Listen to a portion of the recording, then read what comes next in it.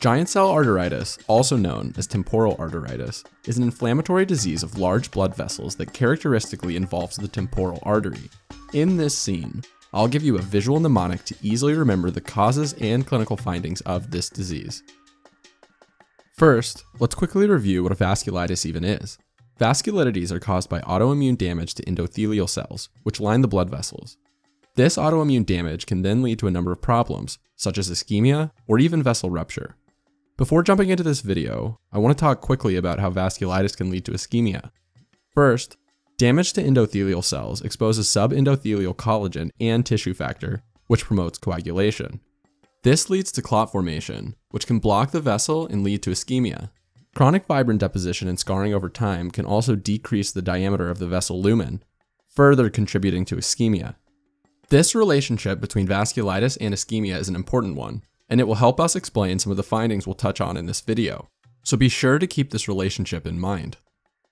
Alrighty then, let's head on over to the side of our scene, the ruins of some prehistoric civilization.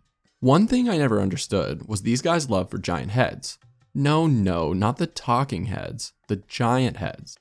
This giant head is here to help you remember the disease, giant cell arteritis. Giant for giant cell, get it? The name actually has a deeper meaning though. If you take a biopsy of blood vessels in these patients, you'll find giant cells. These are multinucleated inflammatory cells created by the fusion of macrophages and dendritic cells. We'll get back to the biopsy findings later, but for now, just remember this giant head to remember both the name giant cell arteritis as well as the biopsy finding of giant cells. Next, take a look at those vines growing on top of this giant head. These red vines make me think of arteries, and the location of these red vines makes me think of the temporal artery specifically. Yep, the temporal artery flows near the temples of the head. Who would have guessed? Giant cell arteritis classically involves the temporal arteries, which is why this disease is also called temporal arteritis. Well, originally there were vines on both sides of the head, but now there's just a big crater on one side. Something must have hit this giant head's head. Ouch, looks like that's gotta hurt. This large crater reminds me of the unilateral headache that is seen in the temporal region. This location should make sense since you know that the pain is caused by temporal artery inflammation.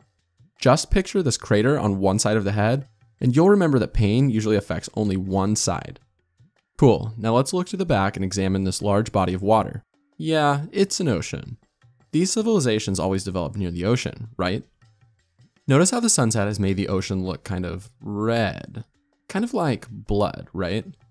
This large amount of blood red liquid should help you remember large blood vessels.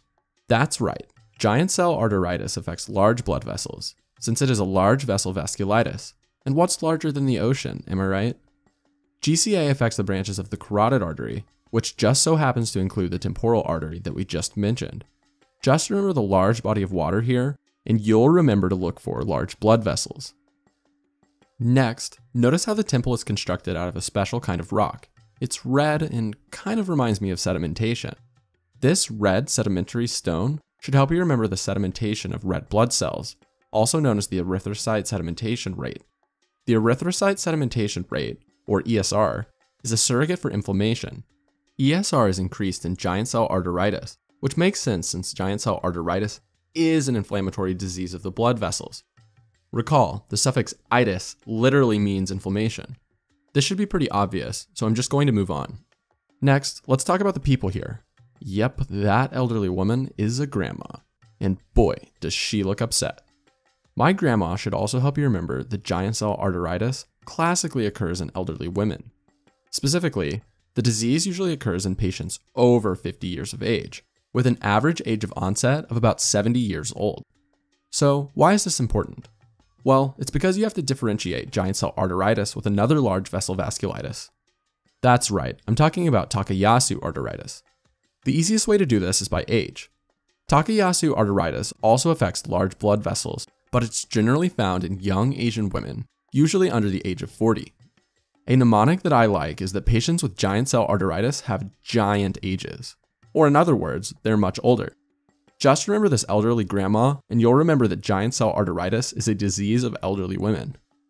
Anyway, this symbol is a two-parter. You see, grannies are a recurring symbol for granulomas, or granulomas, if you will. Get it? Granny for granuloma? Granulomas are found in giant cell arteritis, and they describe a focus of inflammation consisting of a lot of macrophages surrounded by a collar of lymphocytes, kind of like in this picture here. I won't get into the basics of pathology here, but just remember my granny, and you'll never forget the presence of granulomas in giant cell arteritis. Now, now, let's take a look at what Grandma's wearing. You see, ever since we got here, Grandma's been uttering strange things, and she's really become a lot more tribal. She picked up these red feathers somewhere, and she's been wearing them on her shoulders and hips. Personally, I think they're cursed. Weirdly, these red feathers around the shoulders and hips makes me think of inflammation around the shoulders and hips. In the context of elderly women, I'm referring to polymyalgia rheumatica, of course. Polymyalgia rheumatica is an inflammatory disease of elderly women. It is characterized by aching and stiffness at the hips and shoulders, and it is highly associated with the onset of giant cell arteritis.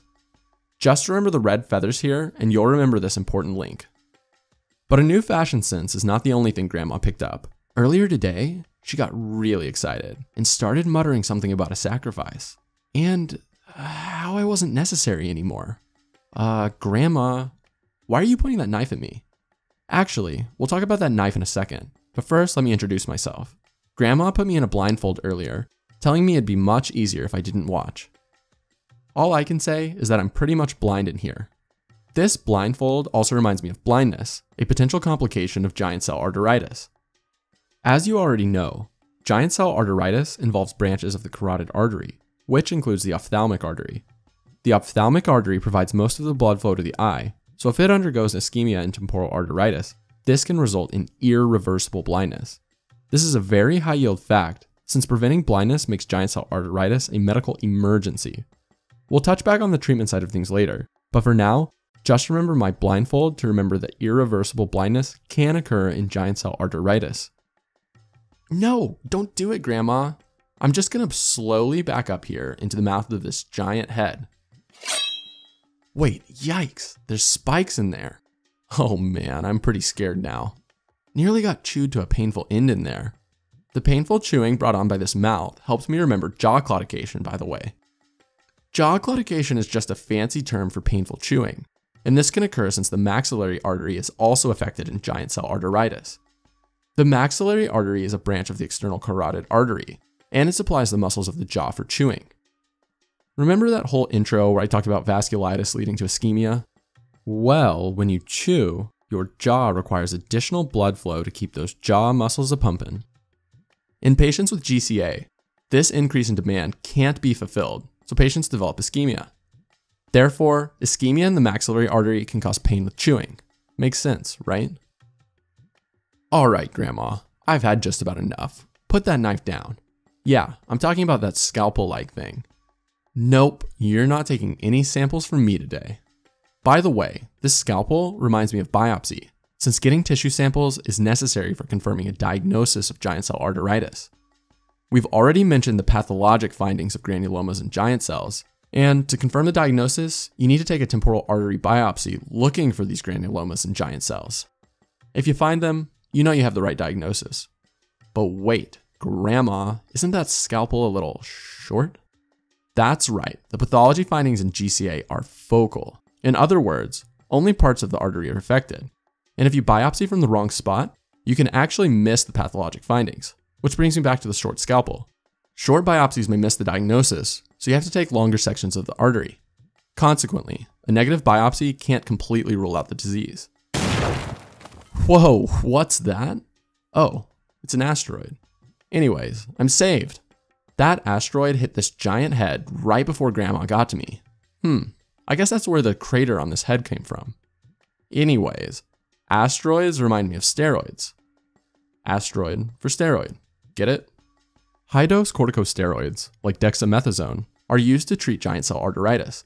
And this asteroid arriving before grandma got a biopsy should help you remember that treatment in giant cell arteritis should be given before confirming the diagnosis. Wait, what? Treatment before diagnosis? Why is that? Well, recall from before that untreated giant cell arteritis can cause irreversible blindness by occluding the ophthalmic artery. Again, this is a medical emergency. Even if we are not sure of the diagnosis, the possibility of blindness is just way too bad to wait for a biopsy. Therefore, we give steroids before diagnostic confirmation to prevent the possibility of blindness. The way this is tested is by giving you a patient with the telltale signs of giant cell arteritis. I'm talking about an elderly woman with painful chewing and a unilateral headache, just like grandma here. The question will then ask, what's the next step in management? After seeing this, you should know to pick the treatment first. This is high yield, and it just may help you save a person's vision down the line. Alternatively, it could just help you get another question right, and you can get that derm residency you've always dreamed of. Whatever your motivation, just remember this asteroid getting here before grandma got her biopsy, and you'll have this fact down. And that's it, folks, for giant cell arteritis. It's been a harrowing day. Let's recap. Giant cell arteritis, also called temporal arteritis, is an inflammatory disease affecting the large blood vessels, such as the carotid arteries and its branches. The classic branch affected is the temporal artery, resulting in unilateral headache. Other branches affected include the maxillary artery, which results in jaw claudication, and the ophthalmic artery, whose involvement can cause irreversible blindness. The disease is classically seen in elderly women, and it is often associated with another disease, polymyalgia rheumatica. Additionally, all of the blood vessel inflammation going on leads to a characteristically elevated ESR, which is an acute phase reactant slash inflammatory marker. Diagnosis is confirmed by biopsy of the temporal artery, and pathologic findings include granulomas and giant cells. These findings are focal, however, so short temporal artery biopsies can miss any findings. Finally, the most important thing to remember about GCA is that treatment with high dose steroids should be started before diagnostic confirmation. This is because delayed treatment can lead to ophthalmic artery involvement and subsequent blindness, which makes giant cell arteritis a medical emergency. Hey, Grandma, so what happened to you anyway? Thought you loved me. it's okay. I forgive you. You're still my grandma. Let's just get on to the next image. Thanks for watching. For more videos like these, click here to subscribe to our YouTube channel. You can also check out the interactive version of this image at pixorize.com by following the link in the description. If you like what we're doing, share with your friends on social media, and we'll keep making great content like this. We'll see you next time.